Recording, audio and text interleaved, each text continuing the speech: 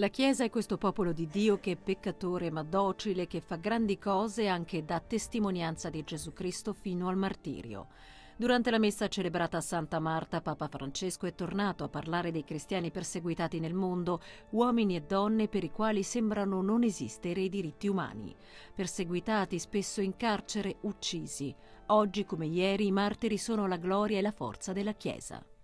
I martiri sono quelli che portano avanti la Chiesa sono quelli che sostengono la Chiesa, che l'hanno sostenuta e la sostengono oggi.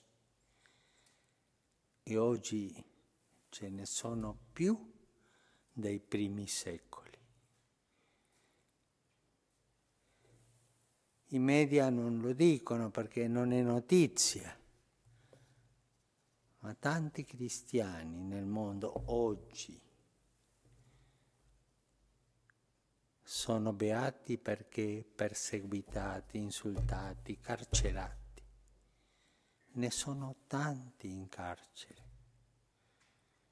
Soltanto per portare una croce o per confessare Gesù Cristo.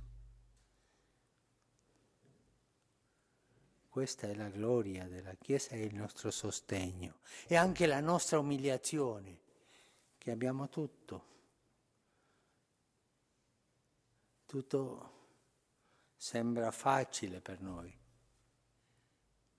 E se ci manca qualcosa ci lamentiamo, ma, ma pensiamo a questi fratelli e sorelle che oggi, in numero più grande dei primi secoli, soffrono il martirio